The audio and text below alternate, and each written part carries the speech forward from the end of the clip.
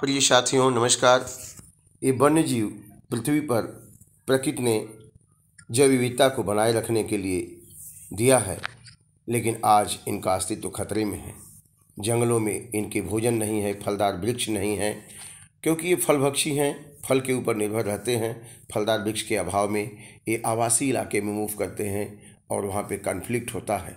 आज इनके संरक्षण की परम आवश्यकता है। हम आप सभी लोगों से गुजारिश करते हैं, निवेदन करते हैं कि सीज़न में जो भी हम फल खाते हैं, आम, अमरूद है, जामुन है, आम, जामुन के गुठलियों को हम इकट्ठा करें और जुलाई के महीने में, जून के महीने में जब बरसात होती है, उसे हम जंगलों में बिखेर दें। अगर हम जंगली इलाके के नज़दीक हैं तो उनको जंगलों में बिखेर दें या फिर जहाँ भी हम हों, रोड के किनारे बिखेर दें, ताकि ये जो है फलदार वृक्ष तैयार हो जाएँगे कुछ सालों में और आगे आने वाले समय में इन जन वन्य जीवों को पर्याप्त भोजन मिलेगा।